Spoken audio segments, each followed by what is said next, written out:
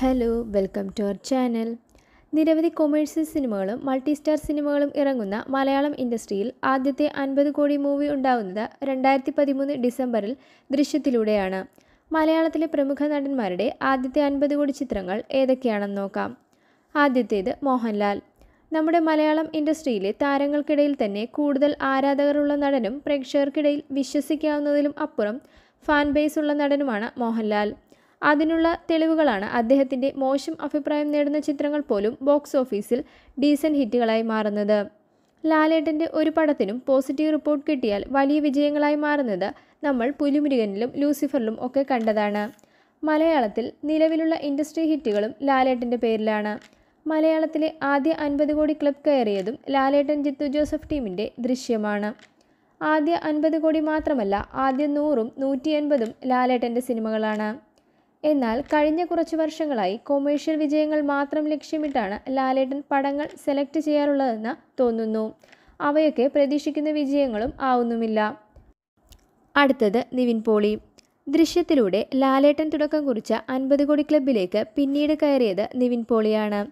രണ്ടായിരത്തി പതിനഞ്ച് മെയ്യിൽ അൽഫോൻസ് പുത്രൻ നിവിൻ പോളി ടീമിന്റെ പ്രേമം ദൃശ്യത്തിന്റെ കളക്ഷൻ കടത്തിവെട്ടുന്ന തരത്തിലുള്ള മുന്നേറ്റമായിരുന്നു ബോക്സ് ഓഫീസിൽ നടത്തിയത്.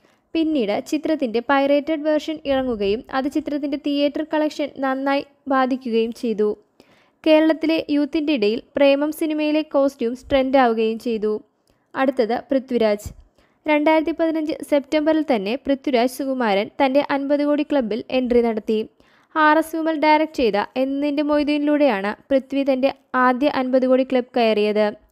പന്ത്രണ്ട് കോടിയോളം വരുന്ന ബഡ്ജറ്റിൽ നിന്നാണ് എന്ന് നിന്റെ മൊയ്തീൻ അൻപത് കോടി കളക്ഷൻ നേടിയത്. പിന്നീട് എസ്ര അമർ അക്ബർ അന്തോണി എന്നിവയും അൻപത് കോടി കളക്ട് ചെയ്തിരുന്നു. അടുത്തത് ദിലീപ്. മീശ മാധവനിലും ട്വന്റി ട്വന്റിയിലുമൊക്കെ ഇൻഡസ്ട്രി ഹിറ്റുള്ള ദിലീപ് ആദ്യമായി അൻപത് കോടി ക്ലബ് കയറുന്നത് രണ്ടായിരത്തി പതിനഞ്ച് ഡിസംബറിൽ ഷാഫി ഡയറക്റ്റ് ചെയ്ത ടു കൺട്രീസിലൂടെയാണ് പന്ത്രണ്ട് കോടി ബഡ്ജറ്റിൽ ഏകദേശം അൻപത്തഞ്ച് കോടിയോളം ചിത്രം കളക്ട് ചെയ്തു. അരുൺ ഗോപി ഡയറക്റ്റ് ചെയ്ത രാമലീലയും ദിലീപിന്റെ അൻപത് കോടി കളക്ട് ചെയ്ത മറ്റൊരു ചിത്രമാണ്. അടുത്തത് മമ്മൂട്ടി.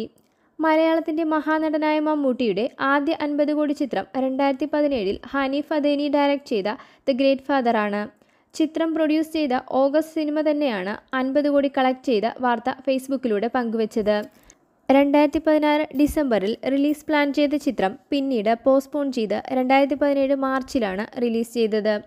അമൽ നീരജ് ചിത്രമായ ഭീഷ്മപർവത്തിലൂടെ രണ്ടായിരത്തി ഇരുപത്തിരണ്ടിലും മമ്മൂക്ക അൻപത് കോടി ക്ലബിൽ കയറി.